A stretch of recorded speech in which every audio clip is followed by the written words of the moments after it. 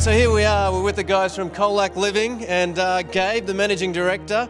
Last year you won two awards. This year you've won three. Tell me how excited you are. Oh, it's been a it's been a great year. It's been a lot of work, and it's um, it's very nice to, to see that it's all come together.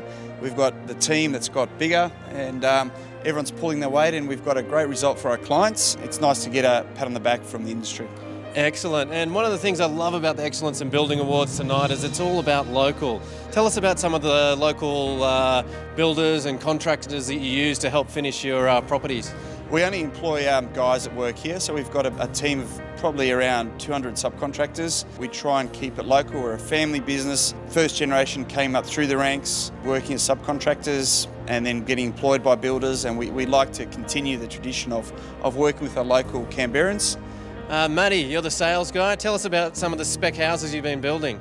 From custom designs to custom inclusions, anything from a fireplace to a custom feature wall, we can help. Excellent, that's what we like to hear. And we've won a few awards, mate. Tell us what it's like working with these guys at Kolak Living.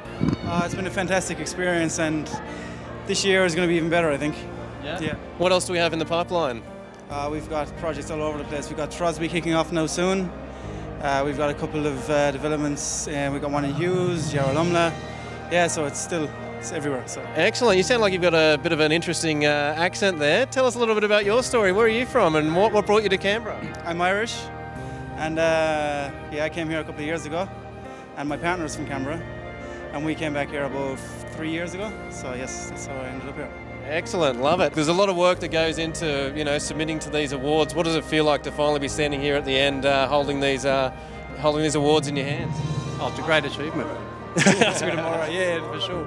No, it's a great achievement for everyone. Well, it's excellent. So that's the guys from Kolak Living. They've won three gongs this year. What exactly did we win? Which ones? Display Home of the Year, Project Home of the Year, and Kitchen of the Year. That's a pretty good trifecta. All right, boys, go and have a beer, and I'll talk to you later on.